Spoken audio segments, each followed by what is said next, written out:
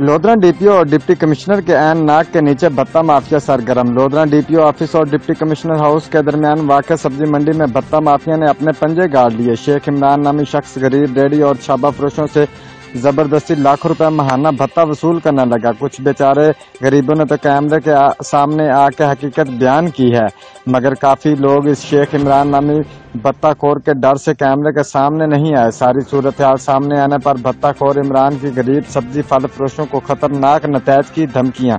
मैं भत्ते का हिस्सा ऊपर तक पहुंचाता हूँ। मेरा कोई कुछ नहीं बिगाड़ सकता। भत्ता खोर शेख इमरान की बड़कें वाजह रहे कि शेख इमरान मुबैना भत्ताखोर ने सब्ज़ी मंडी के बाहर कैंटीन के नाम पर दुकान किराए पर ले रखी है और अपनी दुकान के इर्द गिर्द बैठने वाले फड़ियों और छाबड़ी वालों से भत्ता वसूल करना मामूल बना रखा है। ज़िले के इंतजामिया फीसरान के एन नाक के नीचे भत्ता माफिया की मौजूदगी और ज़िले इंतजामिया की खामोशी बहुत से सवाल को जन्म देती है।